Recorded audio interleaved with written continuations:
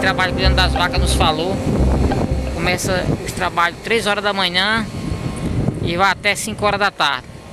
Só é liberado as equipes aqui que trabalham no curral, ó. Após a lavagem aqui de todo o espaço da ordem, deixar tudo limpinho para amanhã começar a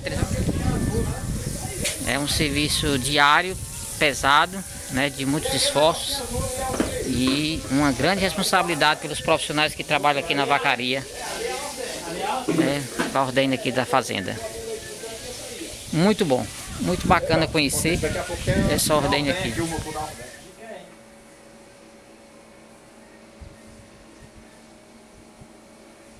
Vamos conhecer aqui o local onde o leite é armazenado, né? 4 mil litros de leite cabe dentro desse tanque aqui. Diz que dá para em torno de 2 a 3 dias tambuzão de 4 mil litros de leite.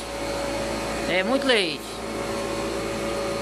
É, meu amigo, um investimento muito grande, produção alta.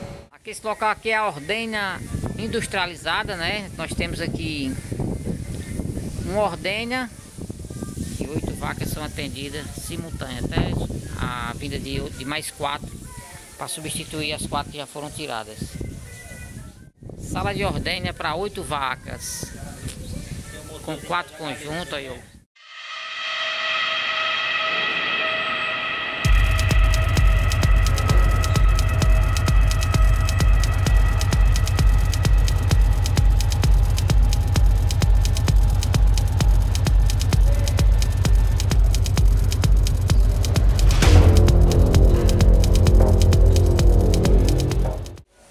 Gente, aqui é alta produção aqui na fazenda, ó. Silozinho e as fórmulas da ração. Né, a mistura de todos os nutrientes. É a, a, mistura de todos os produtos, né? A mistura com milho também.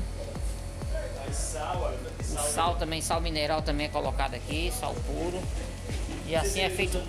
E assim o farelo tá pronto aqui, ó. Farelo de milho, ração proteínas e haja leite, né, Paulão? Meu amigo, não é brincadeira não, viu? Depois disso aqui tudo preparado, o gado come, meu amigo, e haja leite, viu? Não é à toa que a fazenda produz 500 litros de leite diário. O investimento é grande, lógico, mas graças a Deus que diante de muito trabalho, a produção, a gente vê isso aqui. Resultado bem positivo de todo um trabalho diante de tudo isso aqui.